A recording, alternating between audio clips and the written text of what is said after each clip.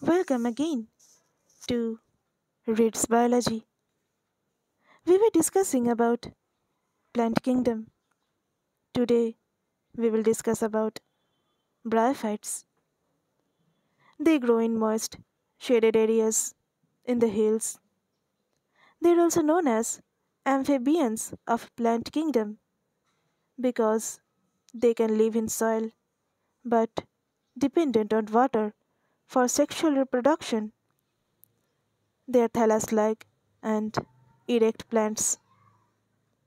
They are attached to a substratum by unicellular or multicellular rhizoids. Rhizoids are not true roots. They are root-like structures. They lack true roots, stem, or leaves. They may have root-like, stem-like, or leaf-like structures. Main plant body of bryophyte is haploid. Haploid means when the chromosome number is half or n. Their sex organ are multicellular. Male sex organ is antheridium, which produce biflagellate antherozoids. Female sex organ is archegonium, which is flask-shaped and produce single egg. Antherozoids are released into water where they come in contact with archegonium. An antherozoid fuses with an egg and produce zygote. Zygote do not undergo reduction division immediately. They produce a multicellular body which is sporophyte. Sporophyte is not free living but attached to a photosynthetic gametophyte and gets nourishment from it. Some cells of sporophyte undergo reduction division, which is meiosis, to produce haploid spores. These spores germinate to produce gametophyte. Some bryophytes or mosses provide food for herbaceous mammals, birds, and other animals. Species of sphagnum, which is a moss, provide peat that is used as fuel and as packing material for transshipment of living material because of their capacity to hold water. Mosses, along with lichens, can grow on rocks. They decompose rocks, making suitable for growth of higher plants. They also prevent soil erosion by forming dense mat. They helping nature. Bryophyte has two types liverworts and mosses. First, we will discuss about liverworts. They grow in moist, shady habitats like banks of streams, marshy ground, damp soil, barks of trees, and deep in the woods. Their plant body is thalloid.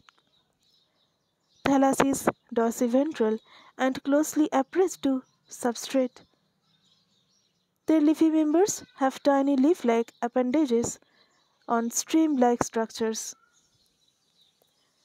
Their asexual reproduction is done by fragmentation of thalli or by formation of specialized structures called gemmae in singular, gemma. Gemmae are green, multicellular in structure.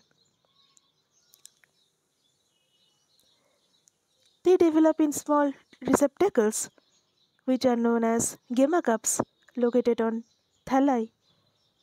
Gemmae become detached from parent body and germinate to form new individuals.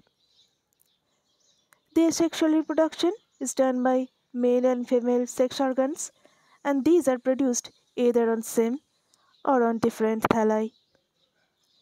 Sporophyte of them is differentiated into a foot, seta, and capsule. After meiosis, spores are produced within capsule. These spores germinate to form free living gametophytes. Some example of them are Marchantia, Riccia, etc. Now we'll discuss about mosses. They are attached to soil through multicellular and branched rhizoids. Their predominant stage of their life cycle is gametophyte. They have two stages in their life cycle. The first stage is protonema stage, which develops directly from a spore. It is a creeping, green, branched, and frequently filamentous stage. The second stage is leafy stage, which develops from secondary protonema as a lateral bud. They consist of upright, slender axis bearing spirally arranged. Vegetative reproduction is done by fragmentation and budding. Sexual reproduction is done by sex organs, antheridia, and archegonia, and these are produced at apex of leafy shoots. After fertilization, zygote develops into a sporophyte consisting of a foot, seta, and capsule. Capsule contains spores. Spores are formed after meiosis. Mosses have an elaborate mechanism of spore dispersal.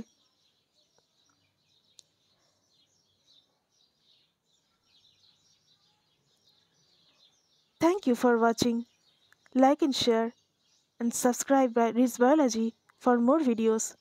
Next day, we will discuss about pteridophytes. Till then, take care and bye.